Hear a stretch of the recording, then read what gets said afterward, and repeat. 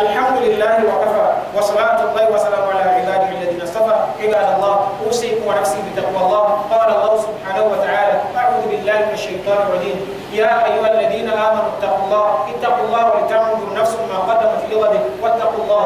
إن الله خبير بما تعملون. عباد الله فلما دخل رسول الله صلى الله عليه وسلم مكة ما سكن صلى الله عليه وسلم بيتا من بيوت مكة وما نزل بدار من دور مكة.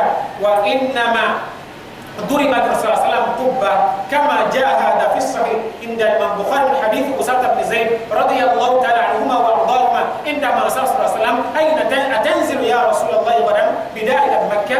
فقال الرسول صلى الله عليه وسلم هل ترك لنا عقيل من رباع ولا دور؟ ثم قال الرسول صلى الله عليه وسلم لا يرث المؤمن الكافر ولا الكافر المؤمن.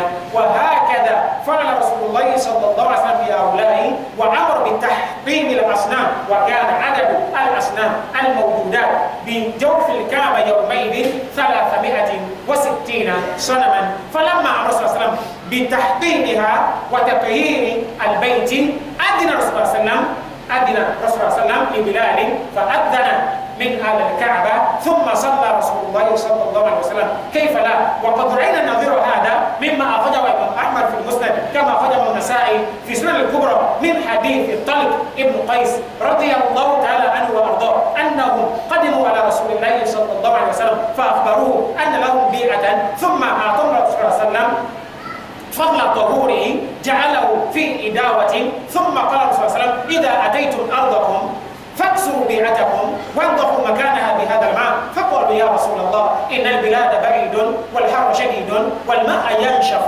فقال له صلى الله عليه وسلم ردوه من الماء فإنه لا يزيده إلا طيبة اللهم صل وسلم على هذا النبي الكريم. وهكذا قال صلى الله عليه وسلم وجعل هذا وسن لنا سنة عظيمة صلوات الله وسلامه عليه. لكن رسول الله صلى الله عليه وسلم عندما جمع قريشا وعلى مكة. ماذا قال لهم؟ قال لهم صلى الله عليه وسلم ماذا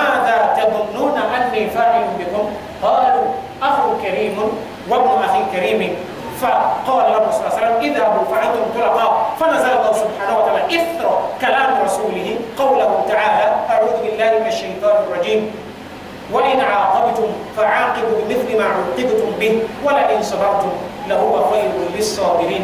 نسأل الله سبحانه وتعالى أن يجعلنا من عباده الصابرين المحتسبين وهو على ذلك قدير وبالإجابة جدير اللهم أعز الإسلام والمسلمين اللهم أعز الإسلام والمسلمين اللهم أعز الإسلام والمسلمين ودمر أداك على الدين. اللهم دمر أداك على الدين وانتكم لعبادك المستضعفين من المؤمنين والمؤمنات في كل مكان. اللهم أحصي أعداءك وأعداءنا عددا واقتلهم بلدا ولا تبك منهم أحدا. اللهم لا تخلنا عمنا من هذه الدولة وخذ قيادة الدولة لعبادك المؤمنين. أنت على ذلك قدير يا ربنا. اللهم ربنا لا تولي علينا شرارنا. اللهم ربنا لا تولي علينا شرارنا. اللهم ربنا هب لنا من أزواجنا وذرياتنا قرة أعين.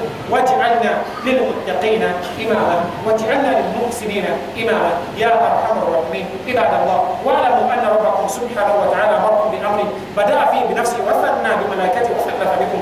قال الله سبحانه وتعالى أعوذ بالله من الشيطان الرجيم.